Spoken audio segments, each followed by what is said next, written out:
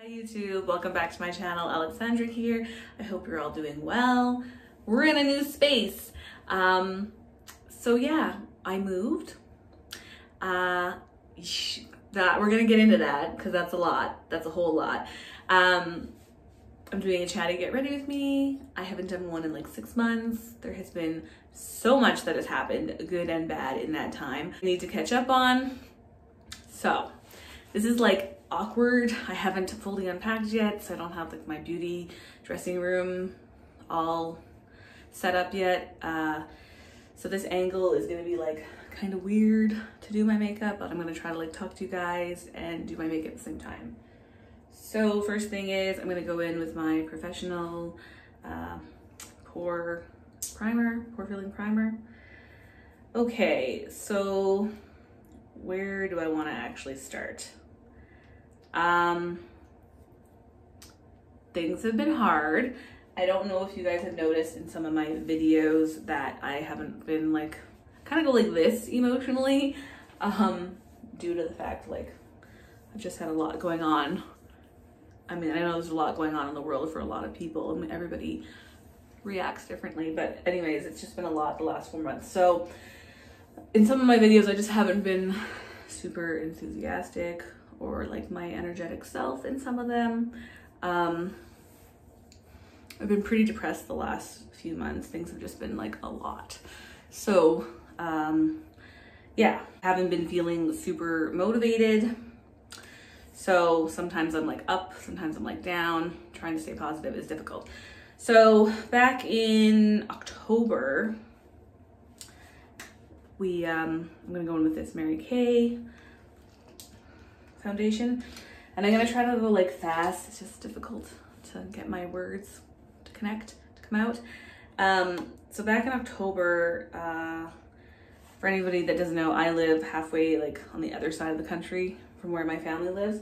So back in October, um, my dad, who's in his 70s, uh, but he's in pretty good shape, uh, collapsed and he had to be rushed to the hospital and they did all these tests on him and basically they found a uh, infection in his heart that went septic and when it went septic it broke like one of his main valves in his heart so they had to do uh, emergency or schedule emergency um, open heart surgery. So as soon as they told me that, I immediately flew home. Um, I was concerned because of COVID as well. That was like a big thing. But if obviously if he didn't get the surgery, then he would die because this um, the septic had like put his body into um, like just poisoned everything. So he had kidney failure and then he was on dialysis and they had to fix his heart thing. So I rushed home.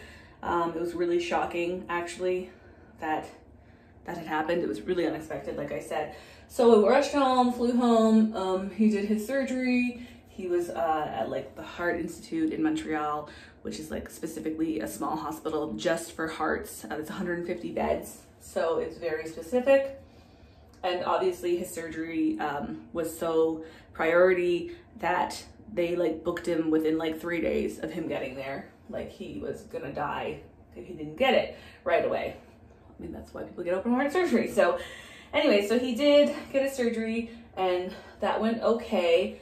And um, his kidneys obviously were okay. They had done dialysis for a few days, but they got better after the surgery. And while he was in recovery, um, and he was scheduled to go home or to another hospital, but because of the septic, he would have to be in the hospital for a while because he needs to be on so much medication for that, an IV drip so many times a day. Um, sorry if I'm being so like all over the place, but I always am. So while he was in recovery, I left because I had to go back to work because I couldn't stay home even if I wanted to. I just can't afford it. I have mortgage, like I couldn't afford to be gone for more than a few weeks. So I felt secure enough when he was in recovery that I could leave. And the last day that I saw him when he was in recovery, he was coughing a lot. And uh, he just, I said, Dad, you're coughing a lot. Are you okay? You know, and I thought, oh my God, he has COVID. And he's like, no, they're just telling me that I have to keep coughing to clear my airways and everything. And I'm like, okay. And um, then I left, came back here to Edmonton, and within like three days, my mom's like, Your dad just tested positive for COVID.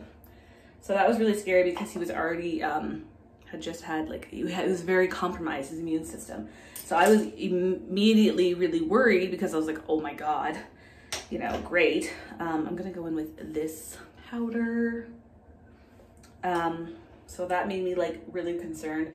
Me and my mom and my brother all tested negative for COVID, so that was good. Um, he clearly got it in the hospital, which really upset me because I know that it's like a worldwide pandemic, but it's like this is supposed to be a COVID free hospital, so it's sort of like sometimes you go into the hospital and you come out with something else, you know, which is if the thing that brought you in there didn't kill you, then you might get something else that will. Anyways, that was just so uh, we all tested negative, so he clearly got it in the hospital.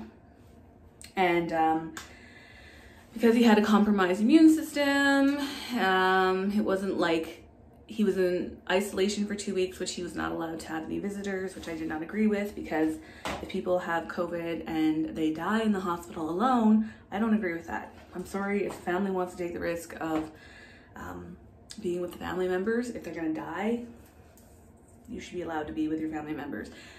Anyways, so I'm gonna use some contour here that I made. And um, he, that's a, that's a dark contour girl, calm down. um, so he was in isolation for two weeks. Nobody was allowed in, nobody was allowed out, not even his wife. The rules were very strict in Quebec during COVID. They still are strict, I think. So he had no visitors. I was concerned for his mental health. Um, while he was in there, he uh, was coughing a lot. He had like the, shortness of breath. He like I could barely talk to him while he was in isolation because I felt like I couldn't hardly talk to him because I was worried that you know he couldn't breathe. You know, I didn't want to make him talk, so I hardly spoke to him when he was in isolation. Um, I do know that when he was in isolation from the coughing, his incisions for his heart surgery opened up three times, which made it get infected. They could not keep it closed, which is scary. Um, and then they're like, on the 14th day, they pulled him out of isolation. And then they're like, we're gonna put, um, do a, a surgery, but just one where it's like general or local, you know, not, not where you're totally asleep. They just would do like freezing on his chest area. And he was gonna be awake for the surgery and they were putting in three drains so while he was on the table getting the three drains put in, he passed out, fell into a coma, and then he was in a coma for three weeks, I think, three or four weeks, long time. And while he was in a coma, because his age and given his like already compromised immune system, um, they're like, he didn't have good chances of coming out of that. I'm using this bronzer. Um, they said that uh, it was like less than 10% chance or something that he'll survive or you know and if he does uh, survive we don't know what that looks like because of all the things that he's gone through with his body so he um he I didn't fly home right away because I wasn't really sure. We were just sort of waiting because he was already in a coma, which I know sounds bad, but I didn't really know. Nobody really knew. And then when he stopped responding to uh, like medication or antibiotics for his heart infection that they couldn't keep closed. Uh, and then they did another operation where they were manually removing the infection. I decided to fly home at that point because he was no longer responding to antibiotics, which is really scary. And of course, his odds were really, really bad. And I didn't, they, we weren't really told that his odds were 10% until I, I flew home. So I flew home. Now this is like Christmas Eve, I flew home. So he'd been in the hospital since the 25th of October. And uh, so I flew home on Christmas Eve. I immediately rushed to go see him. Uh, he was in the ICU, obviously, this whole time, basically. And I saw him for like 15 minutes because we weren't really allowed because of COVID. He was only allowed so many visitors for such a little amount of time, plus he's in the ICU. Uh, I saw him for 15 minutes. He was not, you know, awake. He wasn't really there, you know, he was, you know. And uh, then I left, and then the next day in Quebec, everything got shut down. Nobody was allowed in or out of hospitals. It didn't matter if you were his daughter or his wife, a family member, nobody was allowed in or out. So now I'm I'm there and he's not in good shape. We we were really like concerned of what was gonna happen. Um, you know. So I stayed for a couple more weeks. He did wake up from his uh, coma, but at that point he had had a stroke while he was under in a coma. He was, you know, and he was the worst case, like on a ventilator. He looked like a corpse. He looked dead. He, he was dead. He was on life support, but he woke up. I don't know how, but he did. And he had a stroke while he was under, and he had bed sores. Um, obviously, they weren't moving him, in my opinion, because he was a dead man. So they thought he was just gonna die. So why move him? So they left him to rot. I know that sounds bad, but that's my opinion. Um, so this is my MAC paint pot in soft ochre. So he woke up. Uh, of course, nobody was allowed to go see him still because everything was shut down. I flew back two weeks later because again, I can't take all this time off work. I mean, I was already taking off like that point two months I missed basically. Um, so that's stressful too. Like, what do you do when you have, um, you know, financial responsibilities? I mean, of course, I had some savings, but not like enough to take off a year. Even if I would like to have been there for him for the whole thing, I really would have. But it's just, what do you do? So you're fighting with your emotions. Logically, you? What do you do? So, anyways, so uh, it's hard to remember the exact timelines here, but it was just all so horrible. So he woke up. I flew, I was already flown back though. By the time he woke up, nobody was allowed in or out. That was that. Uh, they did eventually open everything up, but it took a long time. I think it was like three weeks, four weeks until they let like my mom go back in and see him. So then he woke up. He, was, he had all this stuff wrong with him still. Um, and then it took him a long time. Like they were still like, we don't know if he's ever gonna walk again. A couple of nurses did tell him that, which I think in my opinion is super wrong. Like you don't tell somebody that. Um, you tell them we're gonna do everything to hopefully get you walking again, you know? Or to the best of your ability to walk again. He is walking again. Like all the doctors that looked at his file, he'd been to like six different hospitals because of course different care at different hospitals. Uh, like he went to a rehab, which was the last one um, they're like shocked. They're like, this man, he cheated death. He should have died. So, anyways, it was just so such a blur of time. Like I, everybody was, I was so upset. I was sure he was gonna die. Like several healthcare professionals told me that. Like it just, it was awful, horrible, terrible. And like the real other kicker was on my way home, I knew I was gonna get COVID on the plane because this is when the Omicron variant was very, very abundant. So I was sitting on that plane. I'm like, I'm gonna get it, and I'm gonna get it on this plane. And guess what? I did get COVID on the plane. So then when I came back to Edmonton, I had to take a month off work because I kept testing positive for a month. And at my work, I'm not allowed to go back until I'm negative. That's just the policy. We have to test every single time when we go in for our rotation. So that was really great. That also added to like my stress. Like now my father's in the hospital, even though he was in a rehab at this point it's just like horrible, horrible.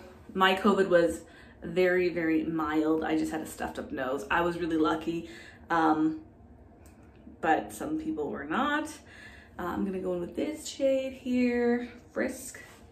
It, it's just been like a, a, whirlwind. Like I'm freaked out financially. I was worried for my father, especially worried for my father. Like I cried so fucking much in those three months where I really wasn't sure what was happening which I'm sure everybody would. Like, I'm very close with my father, and it was just, it was really hard. It was really, it was not a good time. But now he's finally home. He came home. We went home in middle of February. So he was there for like almost five months. October, uh, November, December, January, February. Yeah, like almost five months. Um, November, December, yeah, like four and a half months or something. He was gone for a long time. It's just so it's just really awful. So it's just like anybody family member being in the hospital, um, you know, it's never it's never fun. Plus, like COVID with all the restrictions and not being able to see them was horrible. Uh, and you know, I just felt so um, like I was extra upset because I felt like it was the hospital's fault for giving him COVID, which then he got the stroke from, you know, and it was just like, I don't like, he's still, he's able to walk and he's able to drive and everything, but he does have like a bit of a like limp from the stroke. And he was like a very healthy active man very strong very like go-getter. Like they called him a cowboy when he was in the hospital because they're like he's gonna make it at, when he was in the rehab anyways at that point they're like your father's a cowboy. So you know he's just a go-getter kind of like feisty little old man and um yeah like i just i just didn't like the way most of the nurses were the system there is really broken the healthcare system it's overworked underpaid understaffed there's a language barrier. It's just not good. Not good. I argued with a lot of nurses. Um, you know, just wasn't wasn't a good time. So I'm so happy that he is recovered to hopefully whatever extent. Uh, I think he will continue to probably make some gains. I'm using this shade now to deepen it up a little bit uh, in Undone. It's just, it hasn't been good. So that happened. Just doing a very like basic kind of smoky eye today. So that happened. I'm not trying to be like all doom and gloom over here, I swear. It's been hard, okay? It's been really freaking hard. Well, at the end of last year, I felt like things were going like decent. I was quite happy in October and I remember we went to the dog park with my friend and I was so happy and I was like, things are, things are good. You know, I'm happy with my relationship. I'm okay with my job, you know, I feel like things are going good. And then bam, my dad, like just, it's not his fault or anything. It's just, that's just the way it rolls, you know? So don't get too comfortable because life will come get you. So everybody's happy and healthy right now. I'm so grateful for that. Uh, it's just been horrible. I can't even like focus when I'm talking about it. It's just been awful. Um, I'm going to go in with the Benefit roller liner little guy. I'm just gonna do this quickly and then get back to you guys. So while this is all going on, to make things even more more of a time, I'm gonna use this Ilia mascara. I decide I'm going to list my condo. Yep. Um, it's something I've been thinking about for a really, really long time. So it wasn't like something that I just decided overnight. I kind of thought that I would list it this spring. Prior to my dad getting sick, I did um, speak to several realtors. So it wasn't like, the timing was sort of there. I just didn't think I would list it this soon in the spring, I guess I should say. I'm gonna use this brown eyeliner for my brows. Um, can't find my sharpener because I haven't unpacked everything, so She Blunt. And just set it with some brown eyeshadow. They're a little intense today. So I listed my condo on a Thursday. This is back in February, last month. And it sold, or I shouldn't say, I listed it on a Thursday in February. By Monday, I had uh, an offer because seven people had come to visit it over the weekend and the Friday and it sold Tuesday. So, which is great. Wasn't really uh, prepared for it to go. This is my other naked one. I'm gonna use this shade for my inner corner. Just gonna use my finger. Um, so I wasn't really prepared for that, but it happened. Um, I, of course, priced it to sell. The market here is horrible right now um, really horrible. But I've been here for eight years and in that condo, and I was just like, I'm done. I don't want to be here anymore. I can't be here anymore emotionally. There was a lot that happened during that time when I was there. Um, I've never really gotten into it or spoken too much about it on my channel, but I will, I think, in another chatty get rid of me. So that's going to be a good one because it'll be filled with lots of tea.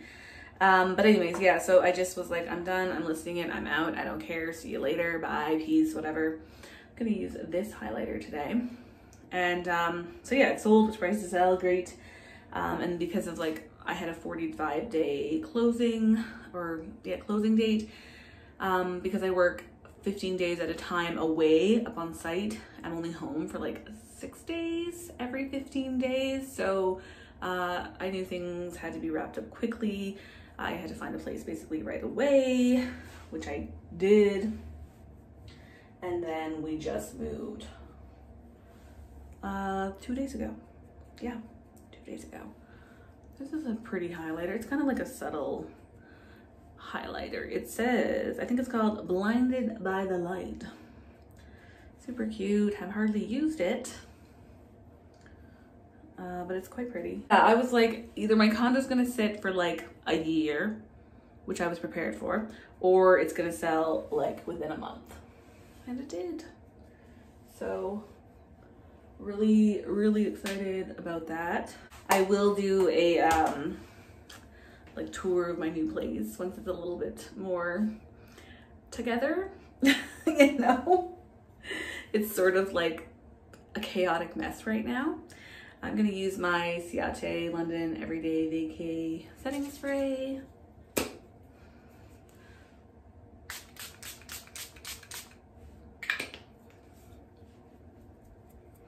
This setting spray smells like coconut, so if you're into that kind of thing, you'll enjoy it. It's an okay setting spray, not my favorite, but she all right.